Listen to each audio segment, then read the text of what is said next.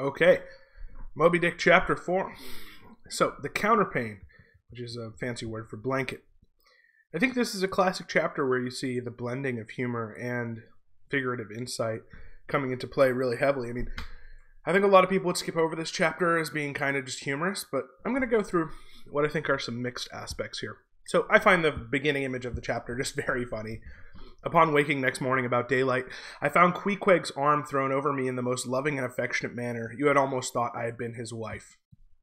So, yes, lots of people and lots of critics will read this as, oh my god, how transgressive of Melville to throw in a homoerotic comment like, you'd almost thought I'd been his wife. I just don't buy it. I mean, yeah, okay, fine. Maybe there's those undertones there, but you know, he and Queequeg are not gay, uh, at least not explicitly. Sure, you can argue about undertones, overtones, between tones, whatever type of tones you want, or whatever. I just find it a funny image because not because of the gay aspect, which is totally fine. It's funny because of Ishmael's 180 degree reversal on what he was thinking in the last chapter, which is, oh my god, this guy's going to kill me, uh, to the point where he becomes a bosom friend in like, you know, a few pages. So uh, we we pass a few paragraphs, and then we get to this weird description of this weird passage about Ishmael's past, where he feels like a hand is holding him when he was young. He would sleep in his bed, and I'll start here. At last, I must have fallen into a troubled nightmare of a doze, and slowly waking from it, half steeped in dreams opened my eyes, and the before sunlit room was now wrapped in outer darkness. Remember, his stepmother forces him to go to bed early to punish him. Instantly, I felt a shock running through all my frame. Nothing was to be seen, nothing was to be heard, but a supernatural hand seemed placed in mine. My arm hung over the counterpane, and the nameless, unimaginable, silent form or phantom to which the hand belonged seemed closely seated by my bedside. For what seemed ages piled on ages, I lay there, frozen with the most awful fears, not daring to drag away my hand, yet ever thinking that if I could but stir it one single inch, the horrid spell would be broken. I knew not how this consciousness at last glided away from me, but waking in the morning, I shudderingly remembered it all. And for days and weeks and months afterwards, I lost myself in confounding attempts to explain the mystery. Nay, to this very hour, I often puzzle myself with it. So Ishmael will go on to parallel this strangeness that he felt while lying in bed to the strangeness of waking up with Queequeg. How does this intersect with the big ideas that we've been talking about? Because it's in yellow, you know that I'm going to go there. And in terms of truth and knowledge and understanding, this seems to do with the mystery of A, the supernatural, or experiences that cannot easily be categorized within uh, human understanding, and those could be supernatural, or they could be things so abstract as to be difficult for the human consciousness to explain, like infinity or eternity or like submolecular cellular interactions which have no bearing on lived phenomenological experience. And this is just one example of the natural human instinct, I think, to be mesmerized by those things that we can't categorize and to seek them out.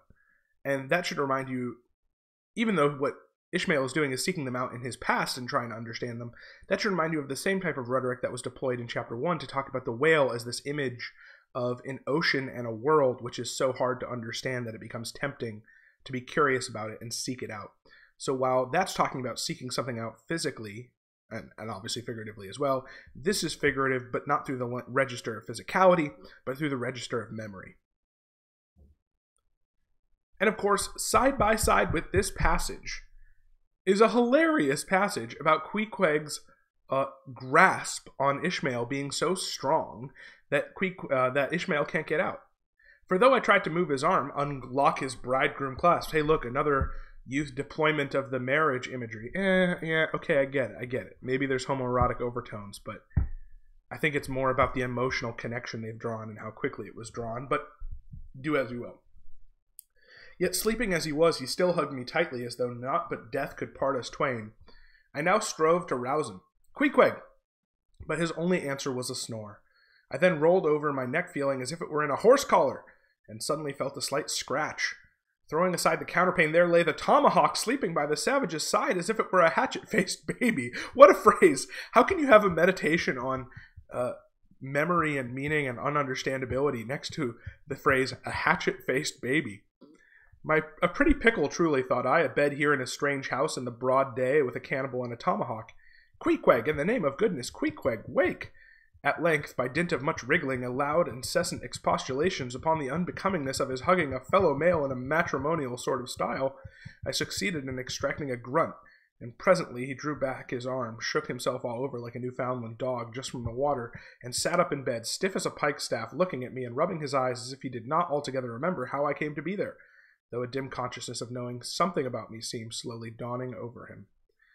I find it hilarious that Ishmael is wrestling Queequeg to get out of bed. There's that great phrase, the tomahawk faced baby, uh, pretty pickle, if you will. I just find that so fun. And in the same paragraph, you go back to this question of knowledge and understanding, and in this case, not about the metaphysical ununderstandability or mystery of the world, but about social relationships and social uh, expectations and norms. Because now we talk about Queequeg and where he is positions himself between various uh, frameworks for understanding. Thinks I, Queequeg, under the circumstances, this is a very civilized overture. He says that he's going to dress first and then leave the room to Ishmael. But the truth is, these savages have an innate sense of delicacy, say what you will. It is marvelous how essentially polite they are. I pay this particular compliment to Queequeg because he treated me with so much civility and consideration, while I was guil- guilty of great rudeness, staring at him from the bed, watching all his toilet motions, for the time my curiosity getting the better of my breeding. Nevertheless, a man like Queequeg you don't see every day. He and his ways were well worth the unusual regarding. I actually, sorry, I messed up the lead into this quotation. I'm talking about the next quotation. This quotation is somewhat interesting because it, it falls into line with the pattern of knowledge and understanding and mystery quotations that I referenced from chapter 1 to this chapter. Here, this positions not the dream, not the whale, but Queequeg as that kind of rare, difficult to understand, uh, almost ununderstandable or impassable uh, thing that motivates Ishmael's consciousness. So he kind of becomes the object in a certain way of Ishmael's desire to know or desire to understand at this particular moment. So the register is changing. We're talking about understanding supernatural dreams. We're talking about understanding the ocean slash the world slash life slash Queequeg. But nevertheless, Ishmael is constantly seeking to understand the ununderstandable or to interpret the somewhat difficult to interpret. Okay, back to humor we just get some more fun passages about Queequeg dressing. He commenced dressing at top by donning his beaver hat, a very tall one, by the by, and then, still minus his trousers, he hunted up his boots. So he's got a hat on, apparently no pants, and he's looking for his boots. What under the heavens he did it for, I cannot tell, but his next movement was to crush himself, boots in hand and hat on, under the bed, when from sundry violent gaspings and strainings I inferred he was hard at work booting himself, though by no law of propriety that I ever heard of is any man required to be private when putting on his boots. So even though Queequeg is not wearing any pants in front of Ishmael and seemingly feels no shame, he goes under the bed in order to put on his boots. Uh, you know, it's just, it's a funny image. But then, of course, because this is Melville, we hop right back into a meditation on knowledge. And this is the passage I meant to refer to when I was talking about Queequeg's middle position in frameworks of understanding or knowledge or, or epistemic reference points. But Queequeg, do you see, was a creature in the transition state, neither caterpillar nor butterfly. He was just enough civilized to show off his outlandishness in the strangest possible manner. His education was not yet completed. He was an undergraduate he had been a small degree civilized, he very probably would not have troubled himself with boots at all. But then, if he had not been still a savage, he never would have dreamt of getting them under the bed to put them on. So, this kind of tells us how our understanding or knowledge of the world is very shaped by the circumstances and societies we live in. It's tempting to think of ourselves as Cartesian subjects who can undergo the epistemic investigation of the world prima facie a priori, but nevertheless, Queequeg with his hilarious kind of middle ground between wearing nothing and wearing a hat and boots but no pants seems to demonstrate that many of our references for knowledge are societal and contingent. And thus, I go back to Blue, At last he emerged with his hat very much dented and crushed down over his eyes and began creaking and limping about the room, as if, not being much accustomed to boots, his pair of damp, wrinkled cowhide ones, probably not made to order either, rather pinched and tormented him at the first go of a bitter morning. And then we get some more fun Queequeg stuff down here as he goes to breakfast. I was watching to see where he kept his razor, and lo and behold, he takes the harpoon from the bed corner, slips out the long wooden stock, unsheaths the head, wets it a little on his boot, and striding up to the bit of a mirror against the wall, begins a vigorous scraping, or rather harpooning of his cheeks. So he's using his harpoon to shave himself. Thinks I, Queequeg, this is using Roger's best cutlery with a vengeance. Afterwards, I wondered the less at this operation when I came to know what of fine steel the head of the harpoon is made, and how exceedingly sharp the long straight edges are always kept. The rest of his toilet was soon achieved, and he proudly marched out of the room, wrapped in his great pilot monkey jacket, sporting his harpoon like a marshal's baton. Queequeg is this fascinating character who gets such absurd clown like treatment from Melville in the same chapter where he gets deep respect and egalitarian treatment, especially for a book of 1851.